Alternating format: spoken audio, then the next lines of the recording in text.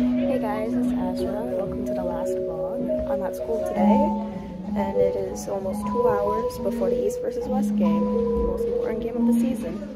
See you there. We're at the stadium. We have a different bleachers this time instead of those ones. So what's the change? But yeah, close up of a game that I don't care about.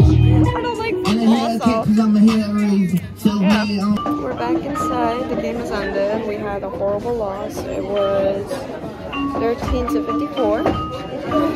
Obviously, we're not good at sports. It's our break time. We're eating soon, and then we have cavalcade next.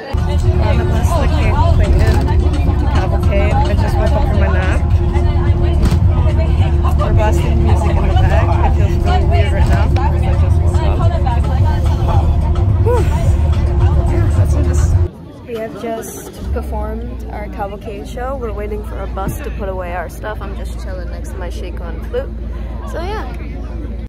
It has been one day from the competition. I honestly was really tired. I just showered and went to sleep.